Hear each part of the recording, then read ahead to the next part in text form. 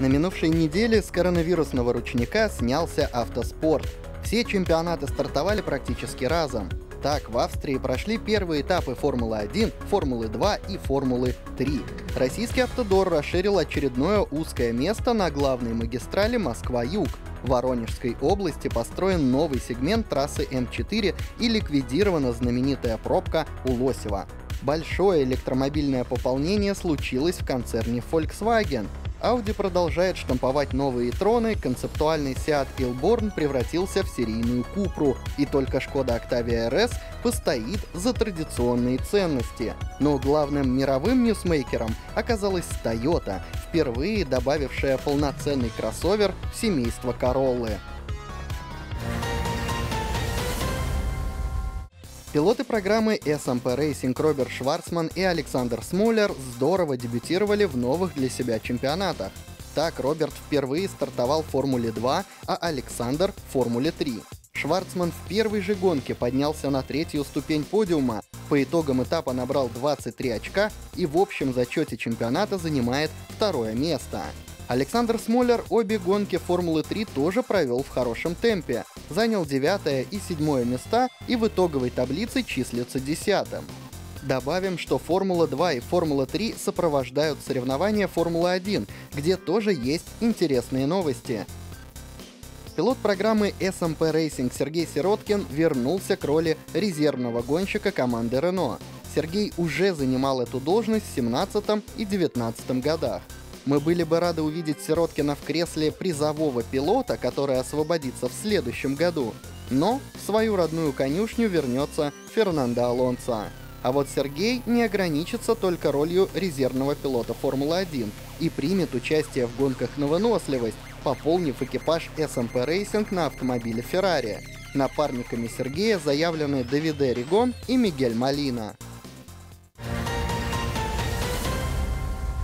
Статистика знает все, но не знает она, сколько же в России пробок. Самые известные прославились на всю страну. Светофор всея Руси во Вышнем Волочке много лет тормозил движение на старой трассе Москва-Петербург, а здесь, в Воронежской области, был свой шоу-стопер – пробка в Лосеве. Трасса М4 соединяет Москву, Воронеж и Ростов с побережьем Черного моря, поэтому пробка у деревни Лосева в райцентре Павловск настолько знаменита у миллионов россиян, что с 17 года даже рассказывает о себе в Твиттере. Объездную дорогу построили на полгода раньше срока, как раз к сезону отпусков. Разрешенная скорость пока 110 км в час, но уже через месяц ее обещают поднять до 130 а впоследствии будет и вовсе 150. Такие планы вынашивает государственная компания «Автодор», оператор платных магистралей России. Сегодня, ну, это стандарт, вот, он э, вполне возможно выше, э, чем общероссийский. Это действительно дороги, которые оборудованы всем необходимым, а, всеми средствами безопасности. Это дороги, которые прощают некоторые ошибки. Главное эти ошибки не совершать. Это дороги, которые освещены в большинстве своем а, на всем протяжении. То есть мы хотим, чтобы наши жители, оплачивая проезд, понимали, за что они платят. Они платят за качество и безопасность. За мгновение перед открытием с вершины холма мы видим хвост пробки на старой трассе. Каждое лето ехавшие на юг автомобилисты проводили здесь, на 40-градусной жаре по много часов. Последний раз Лосевская пробка растягивалась до 20 километров всего две недели назад. Мы очень большой расход личного состава имели на Лосево, на поселке. По 6-7 по часов люди стояли. Мы очень много сделали так, чтобы перестать нарушать правила дорожного движения водителями по обочинам. Новый фрагмент стал самым дорогим из 12 платных участков на трассе М4. Проезд легкового автомобиля в будний день стоит 200 рублей, в пятницу и выходные 220. Сэкономить 20% можно за использование транспондера, а вот проезд ночью дешевле не будет. С открытием новой дороги местные жители получат свободный проезд к своим домам, но лишатся привычного заработка. За деньги тут даже водили караваны машин в объезд пробки. Новый бизнес должен стать цивилизованнее. Здесь появятся коммерческие зоны, и мы постараемся, ну, вот те потери условные, которые предприниматели Лосева понесли, да, все-таки вот там сделать такую организованную коммерческую привлекательную зону для обслуживания транзитных пассажиров. Теперь строители переместятся южнее с 715 до 877 километра и доведут до первой категории всю трассу в пределах Воронежской области. Новейший Land Rover Defender отказался от лестничной рамы и неразрезных мостов в пользу несущего кузова. Однако некоторые фанаты легендарного Гряземеса оказались не рады изменениям. Один из них — Джим Рэдклифф, глава английского химического концерна Ineos, решил создать свой собственный Defender. Упрямый британец даже хотел купить у Land Rover лицензию, но встретил отказ. И в итоге собрал штат инженеров, чтобы проектировать внедорожник заново. Машина называется Ineos Grenadier, то есть Гренадер. Серию пойдут четырехдверный пикап и пятидверный универсал. Во избежание претензий от Land Rover канонический облик изменен, но общая стилизация выполнена на пятерку. Кузов покоится на оригинальной платформе, обещана мощная рама, неразрезные мосты и честный полный привод. Но без архаики. Подвеска пружинная, а тормоза дисковые. В отличие от современных электромобильных стартапов, которые существуют сами по себе, Инеусу помогают гранды мирового автопрома. Шасси проектирует австрийская Magna Steyr, шестицилиндровые бензиновые и дизельные двигатели поставит BMW, а общую инжиниринговую поддержку оказывает фирма MBTech, бывшая Mercedes-Benz Technologies. Семейство новой Шкода Октавии полностью сформировано, а его кульминацией стали бензиновые и дизельные версии Octavia RS. Напомним, что одна RS дебютировала раньше. Это подключаемый гибрид RS iV. Впрочем, электрический довесок замедлил машину и съел часть багажника. По традиции для чисто бензиновой и дизельной РС доступны оба кузова — лифтбэк и универсал. Двухлитровая бензиновая турбочетверка развивает те же 245 сил, что и раньше. Привод только передний, но можно выбрать шестиступенчатую механику или семиступенчатый преселектив. А вот для турбодизеля возможность заказать полный привод сохранилась. Плюс дизельный вариант стал мощнее, так что Octavia на солярке выглядит интересно. Единственный ее минус — отсутствие ручной коробки. В отличие от гибрида, где под днищем висит тяговая батарея, бензиновые и дизельные РСки отличаются заниженным на 1,5 см клиренсом. Сама подвеска перенастроена на драйверский лад. Добавлен рулевой механизм с переменным отношением, мощные тормоза и большие колеса на 18 или 19 дюймов. За доплату доступны адаптивные амортизаторы. Обновление флагманского седана Lexus LS практически не сказалось на дизайне. Светодиодная оптика работает по технологии Blade Scan. Такая уже опробована на рестайлинговых кроссоверах Lexus RX, а суть ее в быстром вращении зеркал, которые формируют адаптивный световой пучок. 12-дюймовый экран мультимедиа сенсорный, поэтому уже не утоплен в панель, а выставлен на показ. Новый адаптивный круиз-контроль Lexus Teammate умеет перестраиваться, обгонять, самостоятельно парковаться и получает обновления по воздуху. Кроме того, седан улучшил шумоизоляцию, переписан управляющий софт трансмиссии, перекалиброваны амортизаторы. Двигатели, впрочем, остались прежними, во всяком случае в Японии, где продажи стартуют в конце года. В то время как гражданская авиация избавляется от трех и четырех двигательных самолетов, автомобильная отрасль, наоборот, обнаружила пользу от наращивания числа двигателей. Первый в мире электромобиль с тремя моторами, которому суждено выпускаться крупными сериями, это кроссовер Audi e-tron S и его купеобразная вариация Sportback. Полноценное управление вектором тяги реализовано благодаря двум электромоторам на задней оси, Каждый вращает свое колесо и подчиняется собственному блоку.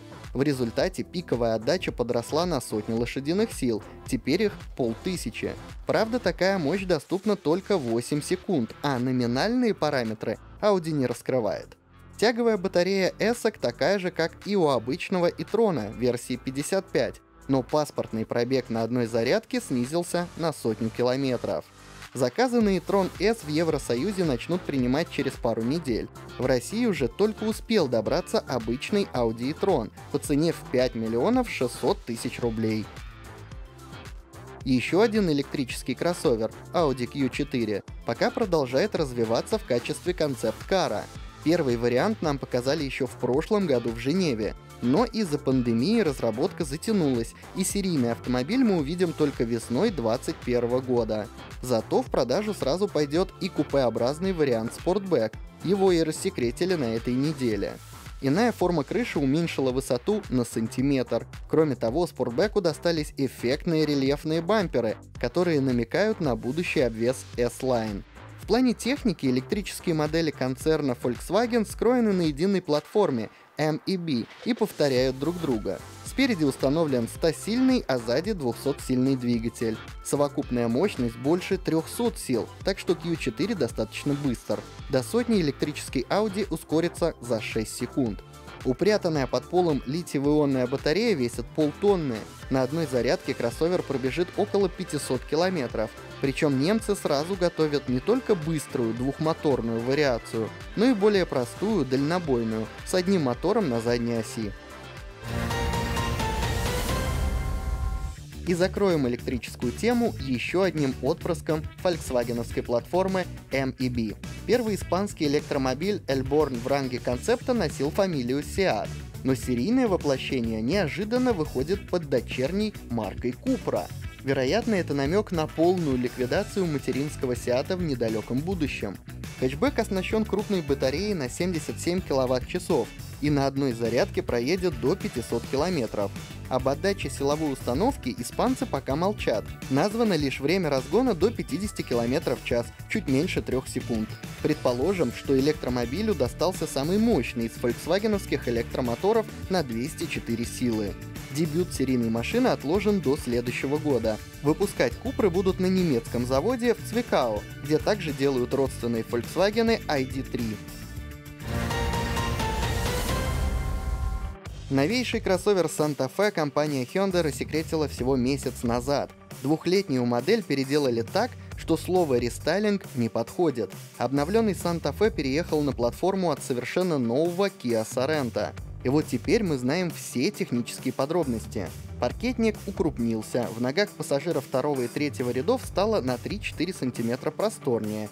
В Корее Санта-Фе предложат с двумя турбомоторами – дизельным и бензиновым. Такие же готовы для Kia Sorento. В Европе тоже заявлен дизель, который сочетается с восьмиступенчатым преселективным роботом, а вот чисто бензиновой модификации нет – Зато есть пара гибридов с турбомотором 1.6 и шестиступенчатым автоматом. Совокупная мощность установки зависит от емкости батареи. Младшая версия выдает 230 сил, а старшая 265. Причем топовая машина подзаряжается от розетки и выйдет на мировой рынок позже всех, в начале 2021 года. Остальные поступят в продажу этой осенью, в том числе и в России. К слову, основным для нас также будет дизель, а вот гамму бензиновых моторов предсказать не возьмемся. В семействе Короллы впервые появился кроссовер, причем японцы не стали банально задирать клиренс легковушки, а спроектировали вполне самостоятельную модель, получившую собственный кузов. По размерам Corolla Cross расположилась между паркетниками CHR и RAV4. Однако задняя подвеска полузависимая, а это значит, что пока возможен только передний привод. Базовым силовым агрегатом заявлен 140-сильный атмосферник и вариатор, однако основная ставка сделана на гибрид. У бензоэлектрической версии дефорсированный вариант этого же двигателя, к которому пристыкованы электрический мотор и электромеханический вариатор. Суммарная отдача установки достаточные 122 силы. Салон взят от обычной легковой Короллы, притом панели можно заказать не только черные, но и цветные, что здорово оживляет интерьер. Первым рынком для паркетника станет Таиланд, где, собственно, и делают машину. Там базовый ценник слегка превысит 30 тысяч долларов. Для понимания, столько же местные дилеры просят за маленький кроссовер CHR, а исходная Corolla стоит на 10% дешевле. Впоследствии японцы планируют вывести модель на множество других рынков, но точные экспортные планы будут раскрыты не раньше 2022 года.